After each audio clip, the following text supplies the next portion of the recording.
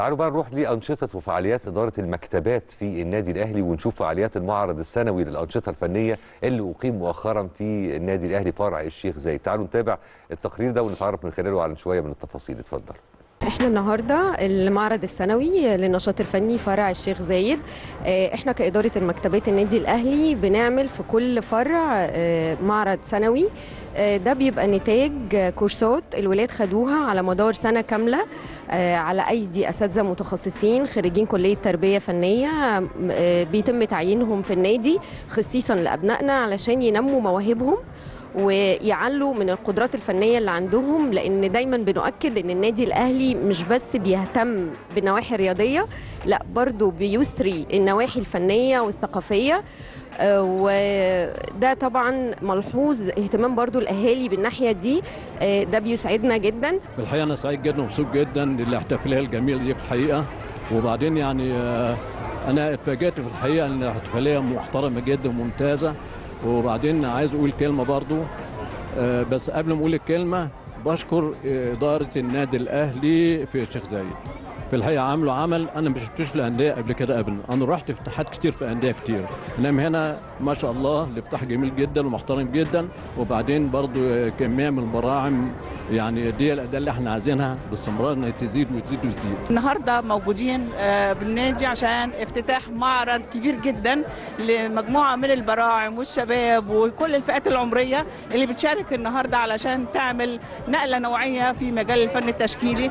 مش هواية ولا نشاط دعم للثقافة دعم للتطور دعم لإشغال الوقت والحفاظ على الذوق العام ونهضة فكرية. أنا سعيد جدا جدا باللي شفته النهارده. مستوى بصراحة المعرض حاجة رائعة فوق الرائعة. آه، يعني مش عايز أقول لحضرتك مدى سعادتي بالمستوى بتاع الأولاد البنات الرسومات. آه، حاجة حتى الساده الدكاترة طبعا الكلية التربية النوعية النهارده شرفونا. آه، إحنا فوجئنا بالأمانة فوجئنا بالمستوى الغير عادي من الأولاد والبراعم والبنات والأطفال برسومات أنا شخصيا لما بروح معارض كتير للأوبرا انبهرت بالرسومات اللي أولادنا عاملينها. فأنا على المستوى الشخصي طبعا بشكر جميع القائمين على الأعمال دي. هو مبدئيا وإحنا عندنا الولاد بيجوا من level zero خالص. في ولاد بيكون عندهم موهبة وفي ولاد بيكون ما عندهمش موهبة خالص. فإحنا في الغالب بنلعب على الوتر ده اللي هو يكون جاي مش عارف أي معلومات خالص على الرسم. ونحاول نتدرج معاه من أول level تاني level تالت level وهكذا لغاية ما يوصل إن هو يعمل حاجات ليه للمعرض ليه بالنادي الأهلي يعني عملت ثلاث لوح آه، آه، واحدة بتتكلم عن ال skate لأني بلعب skate وكده واحدة. منظر طبيعي عن البحر وقلعة وحاجات زي كده وفي حاجة مارفل بقى Thanos وكده والمعرض النهارده بجد مميز جدا ومبسوطة إني كنت مت- مشتركة النهارده فيه رسمت آه، لوحة آه، فلامينجو وبحر وبحر تانية. وأنا رسمت فهد وغروب الشمس وكذا حاجة تانية. أنا رسمت لوحات كتير.